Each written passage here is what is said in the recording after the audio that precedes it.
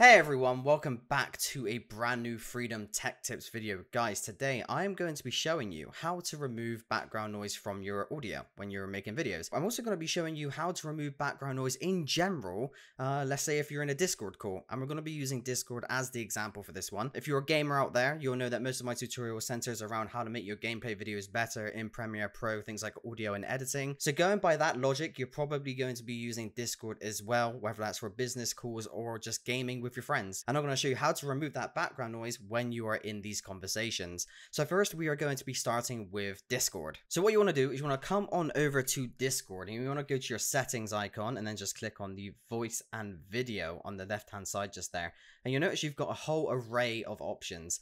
Um, so what I'm going to do first of all for you guys is I'm just going to show you what the audio sounds like right now. So I'm going to do a let's check. And see those yellow bars? bars? They're flickering, They're flickering without, without it picking it up, any, up noise. any noise. So I'm going to stop the test there. So there's a couple things there. One, my voice was cutting out quite consistently. And two, there were yellow bars even when I wasn't even speaking, meaning that it's actually picking up white noise. So what you want to do is you want to reduce your volume. This is your input volume, so this is how much your mic will actually pick up. I reduced mine to 70%. Uh, this seems to work really well for me. So we'll just do a check right now. Okay, so we're not getting any audio bars.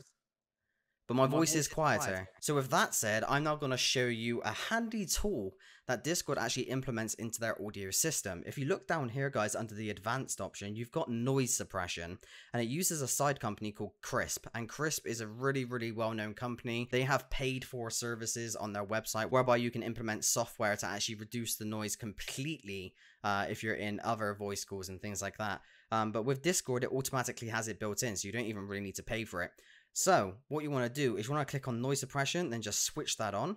And then if we do a let's test on 100%, so I'm going to go back to max. Now, even though it says that it's not detecting my audio, it still actually is, so ignore that message. But you are hearing me perfectly fine and all the background noise has been completely removed, which I think is absolutely incredible. Discord is a really, really great tool to use for this. So yeah, now let's move on to Premiere Pro. So guys, I have Premiere Pro loaded in the background just here, and I've already got my sample audio in, so we're just going to listen to that right now. Hey everyone, hope you are all having a great day today. Guys, welcome back to a new Freedom Tech Tips video.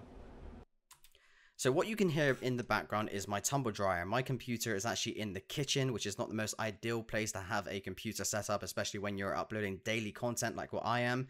So yeah, we want to get that out. We I don't want my viewers to hear a tumble dryer in the background. I want people to hear a nice, crisp audio with none of that. Very, very easy technique. So guys, what you want to do is you want to click on audio tracker in the top left-hand corner. Now, if you don't have that, just click on window and then on window, just click on the audio meters and then it will pop up for you. So yeah, you want to head on over to audio tracker. There'll be an arrow just on the top left-hand corner. Click on that. And as you can see, you've got four different tabs here you want to use the first tab because our audio is on the audio one line. So it's on line one, so we're going to go to tab one. So it all syncs together. And just above this black bar, we are going to click on the drop down arrow and just next to that, it will say noise reduction and restoration. Just head straight on over to noise. And now I'm going to put that up to 60%. So I've been doing this a very, very long time. So I already know the baseline that I look for. If I can hit 60%, that'd be brilliant. There we go. So I know that 60% works absolutely fine for me. It may sound a little bit weird when you play your audio at first. Now, the reason why it does this is because the noise suppression wants to recognize the difference between the audio that you want to hear, which is your voice, and the audio you don't want to hear, which is the background noise. So the reason why it sounds a bit weird at the start when you play your audio is because it's just the noise reduction trying to calculate the difference between the two, and then eventually your audio, as you keep playing it, goes back to normal. Once it's completely justified the difference between background noise and your audio, you won't experience the issue of your audio sounding weird when you come to exporting it. So I'm going to play that at first, and like I said, you will hear that little bit of weirdness, but it will adjust. Hey everyone, hope you are all having a great day today. Guys, welcome back to a new Freedom Tech Tips video.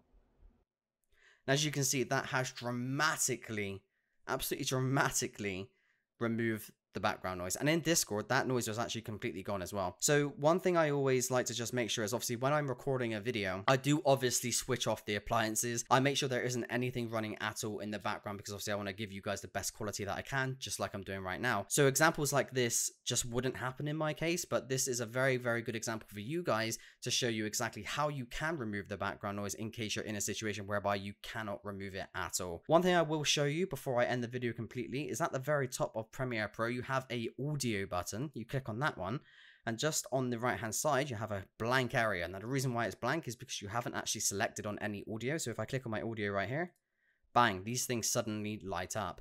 So you have a preset. I recommend going to preset dialog and then just hitting, hitting default. And that gives you a bunch of options. Now it very much depends on what type of room you're in. If you're in a large room, they have presets for large rooms. If you if you're in a small room, they have presets for small rooms. They have a male voice here, so I'm to click on balanced male voice and then see what that sounds like. I've not actually tried this before. If it's dramatically better, then great for me. But if it's not, I'm just going to stick with my original no noise reduction. So yeah, let's just see what that sounds like. Hey everyone, hope you are all having a great day today, guys.